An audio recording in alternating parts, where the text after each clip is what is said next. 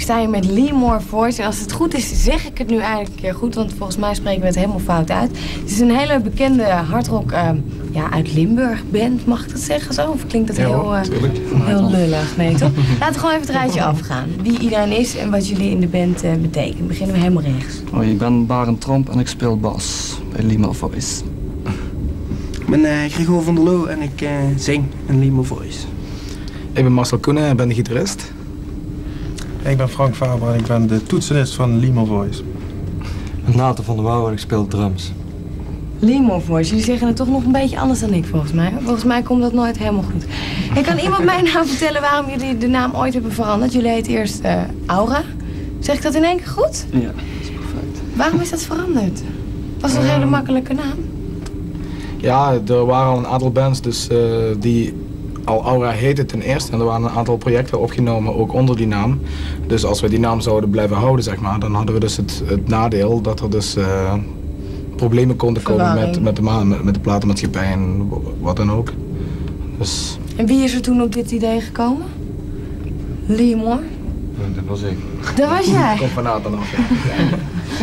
Betekent het nog iets wat we moeten weten, of niet? Ja, ik weet niet of jullie willen weten, maar ja, Lee komt van uh, uh, Lemuria.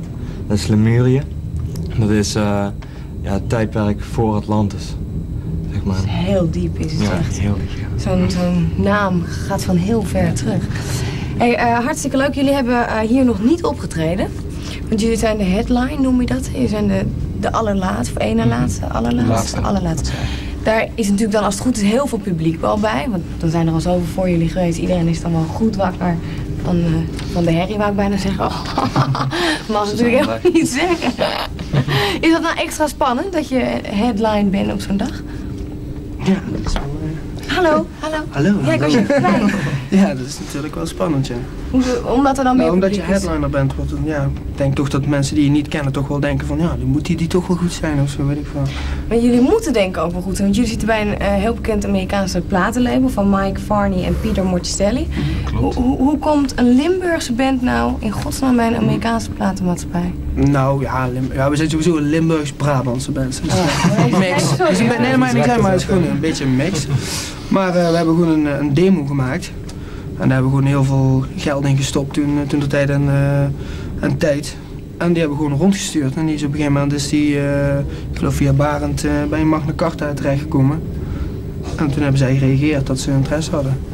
Ja, het Wat, wat gaat er dan door je heen als, als een, een, eh, een Amerikaanse platenlabel je dan in één keer belt? Ja, toen ik het hoorde, toen eh, belde Nathan me op van ja, dat is een Amerikaans label geïnteresseerd. Ja, dan denk ik even van eh, Oeps. wow. Dat is ja, lekker. was- ja, dat was wel te gek. Maar ja, dat wil je toch, wil toch iedere band. Dus, Maar is het dan ook echt de bedoeling als je bij zo'n platenmaatschappij zit dat je ook verder gaat dan Nederland of niet?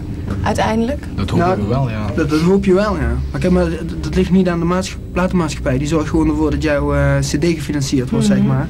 En dat je een cd op kunt nemen en zij zorgen niet Mhm. Ja, dat je misschien heb je extra ingangen door, door die weg. Ik bedoel, dat weet je Ja, natuurlijk nooit, maar je naam is beter omdat erbij staat, ze hebben een deal bij Magna Carta. Dus mensen die dat label kennen, die spreekt dat aan. Ja, Dat is het voordeel, denk Ja. ik. Spannend hoor. Het klinkt allemaal reuze spannend. Hey, jullie maken echt eh, progressieve rockmuziek. Wat moet ik me daarbij voorstellen? Waarom juist progressief?